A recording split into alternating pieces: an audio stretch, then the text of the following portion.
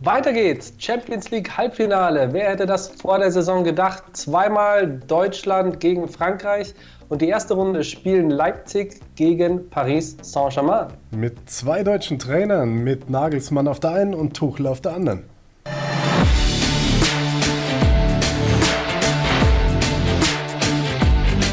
Und beide kennen sich schon sehr, sehr lange und gut. Genau, denn der Tuchel hat den Nagelsmann quasi als Trainer entdeckt. Vor einigen Jahren, über ein Jahrzehnt ist es schon her, da war Nagelsmann unter Tuchel in der zweiten Mannschaft vom FC Augsburg Spieler. Verletzungsgeplagt, aber wohl talentiert und Tuchel hat ihm da schon gesagt, du versuchst mit der Trainerkarriere, der Rest, da kimmst den Schmorn ein. Und der Julian hat sich daran gehalten und ist nicht nur einer der Gesichter der neuen deutschen Trainergeneration, er ist auch mit Leipzig unglaublich erfolgreich. Tabellenerster in der Gruppe geworden, dann im Achtelfinale Tottenham Hotspur besiegt, im Viertelfinale jetzt gerade ohne Timo Werner sogar Atletico Madrid besiegt und darf jetzt gegen seinen Mentor in der Decker spielen. Wie cool ist diese Story? Ja, ähm, Starke Leistung auf jeden Fall von Leipzig. Ähm, aber ich glaube, auf der anderen Seite haben wir mit Paris eine Mannschaft, denen es vielleicht nicht ganz geschadet hat, dass in Frankreich die Saison abgebrochen wurde. Man denke darüber nach, wie stark die vielleicht sogar noch wären, wenn die mehr Spielpraxis hätten als jetzt dieses Pokalfinale gegen Lyon, das sie ja im Elfmeterschießen gewonnen haben und Paris, Lyon, zwei französische Mannschaften im Halbfinale der Champions League, keine Italiener, keine Spanier, keine Engländer, nur zwei deutsche Mannschaften und zwei Franzosen. Und ähm, irgendwie muss das ja auch mit der Art der Saison zusammenhängen. Äh, denn ja, die Franzosen hatten vielleicht die Chance und haben die genutzt, dass sie eben mal ein bisschen sich erholen konnten. Und auch die Deutschen haben früher Pause gehabt als die Engländer, Spanier und Italiener und haben deswegen vielleicht sich besser auf dieses äh, Playoff- oder K.O.-System vorbereiten können. Und jetzt sind die Pariser äh, vielleicht auch in diesem Modus besser angekommen, indem sie auch dieses wichtige Spiel gegen Atalanta mit 2 zu 1 gewonnen haben, wo viele vielleicht Atalanta stärker eingeschätzt hätte, weil die ja die Ballermänner der Serie A waren.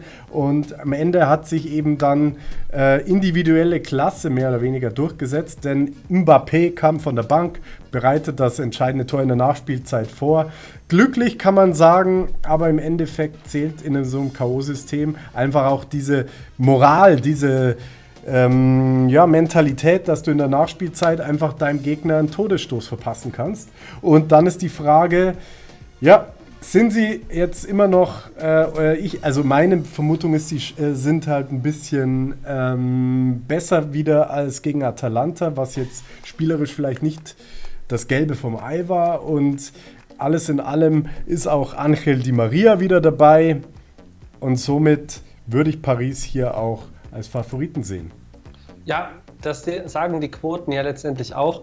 Ich glaube, Paris hat gegen Atalanta wirklich über 70 Minuten das Spiel dominiert, hatten auch einige gute, ich, ich nenne es mal Semi-Chancen.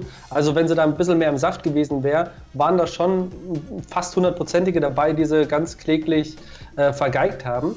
Ich glaube aber, der entscheidende Faktor ist, dass sie eben in der Nachspielzeit aus dem Rückstand einen Sieg erzielt haben. Und sowas bringt eine Mannschaft, die vielleicht auch insgesamt nicht so gut harmoniert hat, nochmal zusammen jetzt erst recht Mentalität reinzubringen. Und mit Tuchel haben sie auch den richtigen Trainer, der die jetzt da, glaube ich, kitzeln kann. Du sagst es auch, äh, ähm, die Maria ist wieder am Start, äh, Gelbsperre abgesessen, Mbappé ist jetzt auch wieder in der Startelf, was wir so gelesen haben. Es spricht sehr, sehr viel für Paris. Höchstens in der, auf der Torwartposition ähm, könnte Leipzig einen kleinen Vorteil haben, oder?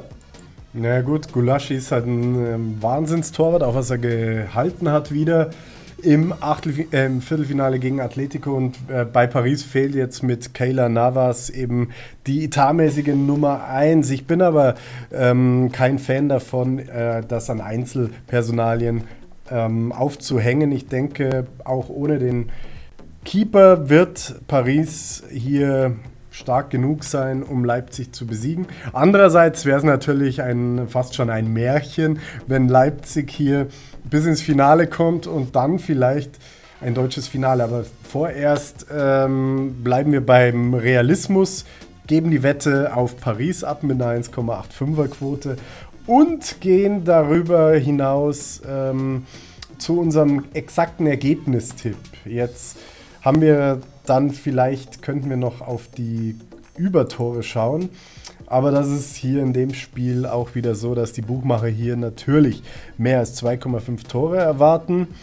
Mm, ich denke, das ist äh, sehr realistisch über 3, 1,99. Aber ich denke, es fallen eben exakt drei Tore, denn am Ende haben beide Mannschaften 2 zu 1 im Viertelfinale gespielt und die machen auch beide so weiter.